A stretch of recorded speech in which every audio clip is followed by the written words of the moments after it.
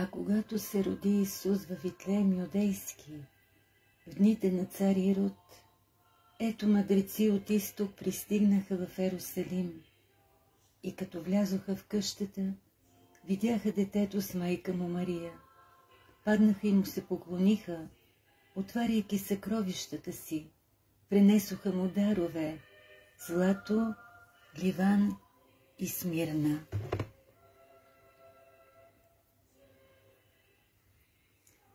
През една зимна нощ, преди 2000 години, в покрайнините на Виглеем, в полутъмният обор се родил младенец. Мучали крави, конете трепкали на сън, магарите неспокойно се въртяли върху сламените си постелки. Майката повила младенеца, нежно го постави в яслите и с любов се надвесила над новороденото.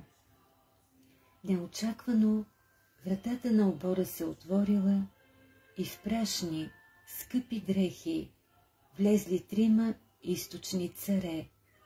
Наричаме ги влъхви, с богати дарове в ръце. Влъхвите били не само владетели, но и учени. Те наблюдавали небесните светила и когато забелязали на изток изкрева на чудна звезда, тръгнали след нея, за да се поклонят на Бога младенеца. Преданието е съхранило техните имена.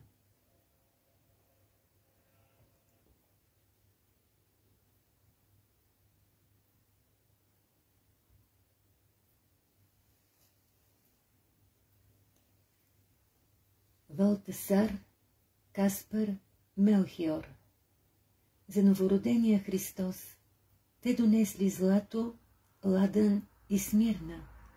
Ладън е скъпа ароматична смола от едно особено дърво, която в древността поднасили в знак на особено благоволение.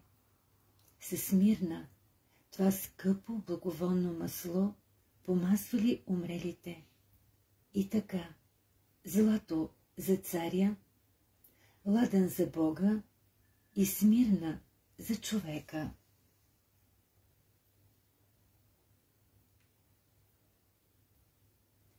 Тези дарове на влъхвите се пазят и до днес.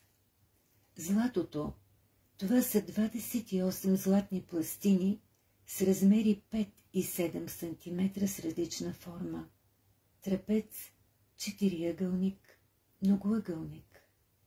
Върху всяка има орнамент, най-тънък филигран, който не се повтаря нито веднъж. Ладен и смирна, малки, големи, колкото маслина топчета, те са около 70. Тези съкровища се пазят с голямо уважение в манастира Свети Павел в Света гора на Атон. Тяхната ценност не е само духовна, но и историческа, археологическа. Тя няма цена, затова те са поставени в малки съндъчета, в каквито пазят мощите на светците. Честните дарове на влъхвите, Божията майка грижливо е пазила през целия си живот и когато вече знаела, че предстои да се раздели със земния си живот, тя предала даровете, заедно с ризата и пояса си в Ерусалимската църква, където те се пазили до 400-та година. Византийският император Аркадий ги пренесъл в Константинопол при освещаването на новата столица на империята. След това те попадат в град Никея и остават там около 60 години. Когато римляните били изгонени от Константинопол, даровете се върнали в столицата. След падането на Византия през 1453 година, даровете на влъхвите заминават за Атон в манастира Свети Павел. Отнесла ги сръбската княгиня Мария. Там, където коленичила Мария, сега има издигнат кръст, който се нарича Царицин. По-късно наблизо бил изграден Параклис вътре в който е изобразено посрещането на великата светиня от монасите. И днес от даровете на глъхвите си носи удивително благоухание. Понякога изнася даровете от манастирската ризница за поклонение от поклонниците и тяхното благоухание изпълват църквата. Монасите на света гора забелязали, че даровете изцеляват онези, които са обсебени от нечисти демони. От 80-те години на 20 век, два-три предмета от даровете всяка година се изнасят от манастира за поклонение. Даровете на влъхвите, като една необикновена светиня, притежават велика благодат. Те служат за източник на изцеление за много хора и със свидетелство за Господното пришествие в света.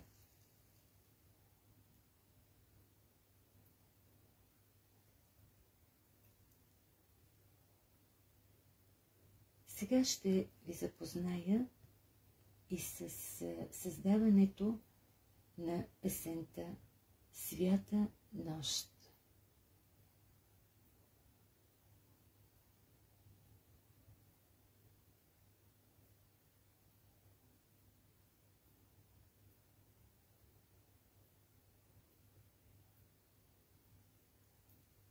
Историята на създаването на песента Свята нощ.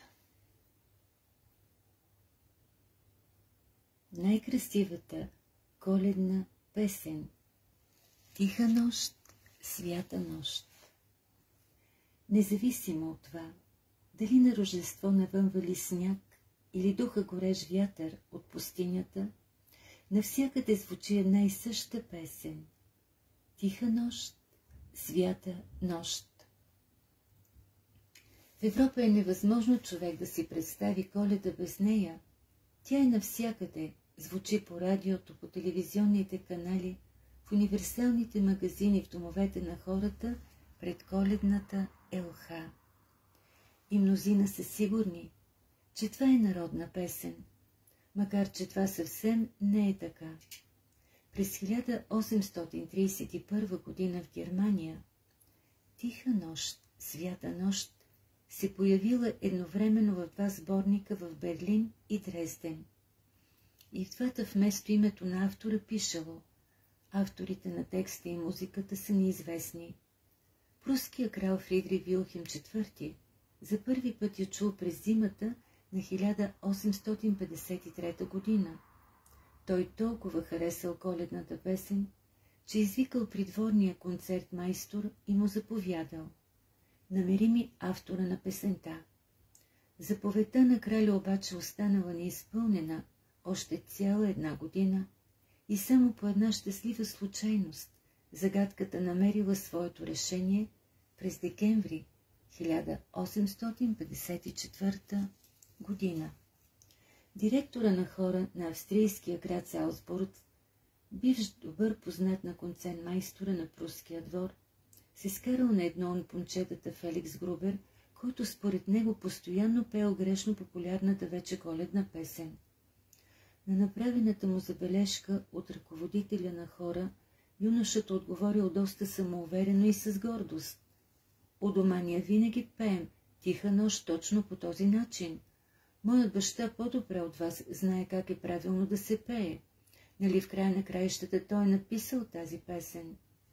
Изненаданият от тази новина директор на хора, захвърляйки всички ангажименти, заминал за Халяин, където живеело семейство Грубер и се уверил, че местният органист и ръководител на църковния хор, 67 годишният Франц Грубер, наистина е неизвестният таинствен автор на музиката на тиха нощ, свята нощ, търсен по заповед на пруския крал.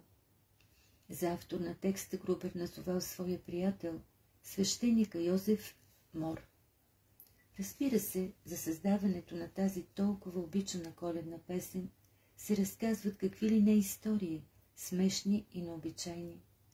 На 23 декември 1818 г. помощник викарият на църквата Свети Николай в Оберндорф, градче на 20 км от Залсбург, Йозеф Мор с ужас открил, че мишките са пригризли меха на органа. Какво да прави? Нима може да има рождественска меса без музика? И тогава на църковния служител му хрумнала спасителната мисъл. Трябва ни тържествена песен. Нали с хартия почти на крак, той нахвърлил няколко стиха и се понесъл към съседното градче, Арнсдорф, където живеел учителят и органистът Грубер. След доста дълги оговорки музикантът се съгласил да помогне на приятеля си и написал към стиховете мелодия, която трябвало да се изпълни от двама солисти и хор в съпровод китара. Истината в тази история е, че тиха нощ, свята нощ, наистина е прозвучала за първи път на 24 декември 1818 г. под свода на църквата Свети Николай в Оберндорф. По-късно Карл Маухър, майстор на органи, няколко пъти посещавал църквата, за да ремонтира органа. Работейки там, той намерил копия от композицията и отнесъл от дома. Така коледната песен бързо се разпространила, отначало в Австрия, а после и в съседна Германия. Вярно е, че много години продължавали да я смятат за тиролска народна песен със съмнителен происход. Всъщност историята на песента е много по-проста и това е част от чудото. Днес песента е най-популярната коледна песен на всички континенти. Претърпяла е на 300 преводи, издадена е в над 180 версии на 121 езика. Няма знаменит певец, който да ни е изпълнил поне веднъж. Написана от непознат музикант и скромен викарий, божественото и послание пресича граници и докосва човешките сърца навсякъде по света.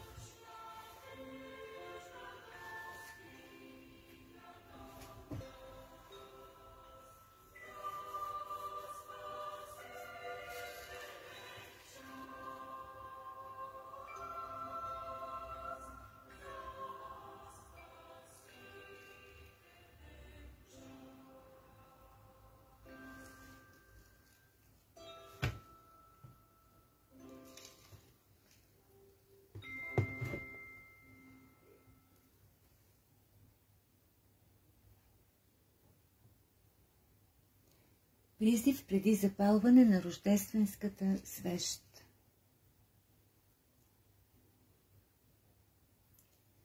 В името на Исус Христос ние призоваваме ангелите на Рождество да слезнат, да напълнят нашите сърца с радостта на живия Христос, когато ние запалваме свеща на този венец на рождественския пост. Нека изгарянето на тази свещ да символизира преобразуването на всичката негативна субстанция във всички четири квадранта на нашето същество. Нека този вечно злен венец да символизира безсмъртния кръг на съвършената цялост и да стане целителна мисъл форма, за да се възродим към нашата истинска индивидуалност в Бог. Амин.